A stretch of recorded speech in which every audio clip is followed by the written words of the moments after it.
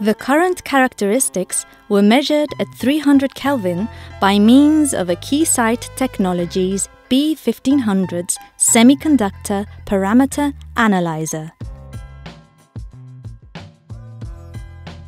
The devices were fabricated on silicon wafers. Atomic layer deposition was employed to deposit a 5 nanometer thick hafnium oxide layer.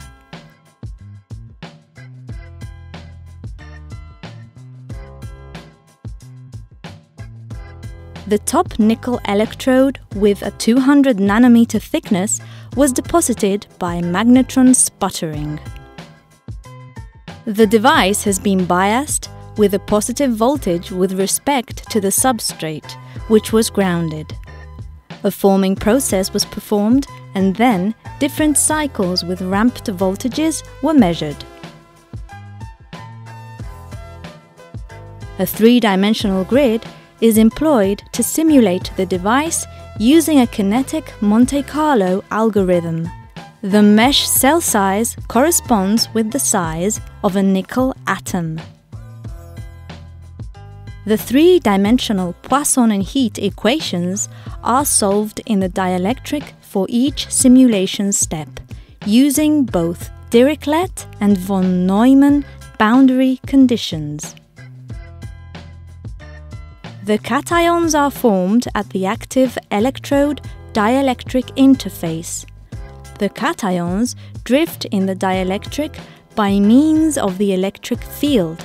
They are reduced when they get in touch with the inert electrode, forming clusters that form a percolation path. The forming process is over when the percolation path connects both electrodes. The reset process is produced because of the Joule heating produced within the filament and the acceleration of the process involved in the nickel atom oxidation and the movement of these cations after their oxidation. After the reset process, a set process starts in the unipolar operation regime of these resistive RAMs. The filament is formed again using the broken filament as a starting point.